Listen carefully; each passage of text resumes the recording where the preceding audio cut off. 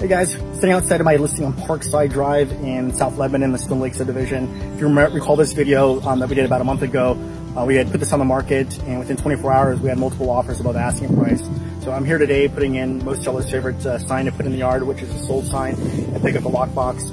If you yourself are considering putting your house on the market um, or making a move, uh, my information is below. Be happy to discuss and answer any questions you might have about your specific situation and what you're looking to do. With today's market, again, low inventory means less competition. It's a little easier to sell these days, and buyers are taking advantage of low interest rates. Um, so the buyer demand is high. With our marketing, we're able to reach a big reach. We I think we had over 13,000 views for this listing video, and really didn't even take advantage of the full effects of this video because it's sold before we can really put it out there. So if you have any questions about how we market our homes and how we best get the highest price we can for your home, feel free to reach out.